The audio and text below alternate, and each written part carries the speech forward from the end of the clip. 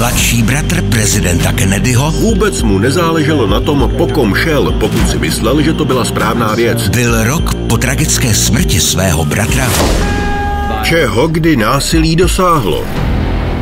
Nelze jít cestou pod heslem hlasovací lístek nebo kulka. zvolen do Senátu, Neptejte se, co pro vás může udělat vaše země, ale ptejte se, co vy můžete udělat pro svou zemi. a později také kandidoval na prezidenta. Během svého krátkého života se Robert dotkl srdcí lidí kolem sebe. Robert Kennedy ve stínu úspěchu.